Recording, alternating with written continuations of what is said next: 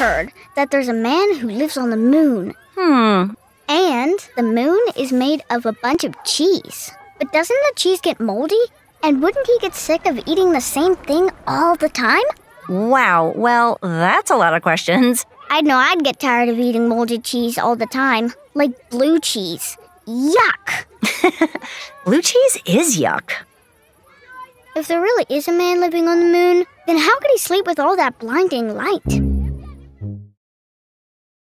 So I liked that this is a take on an old sort of kid's tale and it's given the child um, more control over the narrative. We get to see the child sort of understand and try to navigate the, the, the sort of story of this man on the moon um, and what that could look like from that child's perspective, uh, which I think is quite interesting. How they reason their way through these um, these tales, and I do like how how adults participate in keeping a sort of childlike faith. So yeah, I think that was really those are the major themes that I took from uh, the short, and I think it is really really well done. I loved the little girl. I loved the voice of her. Um, she was so sweet and caring and just pure, right? Like worrying about this man in the moon and what is he eating you know, moldy cheese. And so rather than just wishing that he has other food to eat, she's like, no, I'm going to take that upon myself and I'm going to share my food with him. And like, just so many lessons to take from that. And even at the end where she gets the letter back from the man on the moon and she's like, oh, it's just like Amy's. and like doesn't really put two and two together.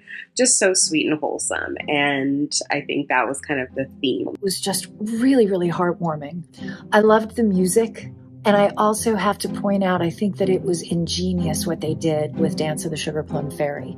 How they added to that song to create a whole new song that fit the piece so well. The animation style was brilliant. The realism of the landscape and the moon and even the, the characters.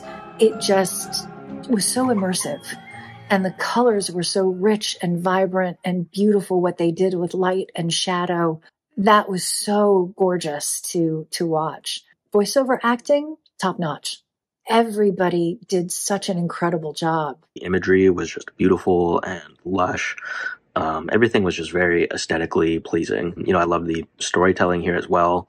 It's super imaginative and I thought really captured the spirit of childhood. It's super positive and fun. You know, I also thought the film was very cinematic. Uh, it makes really great use of light and shadow and uh, has some great camera work as well. Just a really simple, nice message for children to teach kids to to think of others, to be kind and generous, and uh, in a very simple way. Framing it around Halloween, which which is uh, always gets a kid's attention. You know, it was, it was really beautifully done. The the character design and the environments and everything looked great. The animation was fluid, and looked wonderful. Um, love the, the the voice performances were were were fantastic. You know, it just worked so nicely, in the design, oh, the overall look of it, just it, it was a, it was a very very good, very well executed film. And I just love seeing animation like this being produced independently. It was a cute Halloween short that I could definitely see being aired on one of, uh, you know, like a Cartoon Network, Nickelodeon, uh, one of those kind of channels. I definitely thought the whole story, basically uh, treating it kind of like uh, Santa Claus fairy tale. That, that was it was really cute. I definitely like how it was handled. You know, she wasn't told she was wrong about it. Like it was, everyone played along. I thought that was super sweet, super cute. The innocence of children is what is explored in this animation.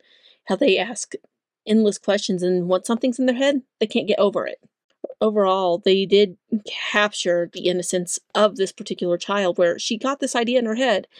And as anyone who has children knows, once they get an idea in their head, it just does not stop until you find an answer.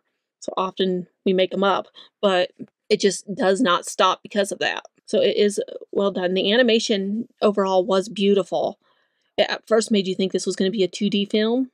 It then turned into the animation styles we're used to now because the moon looked at first quite 2D and the silhouette of a figure, and then you see the little girl, and it turns into the animation styles we're getting used to now, like the Pixar esque ones.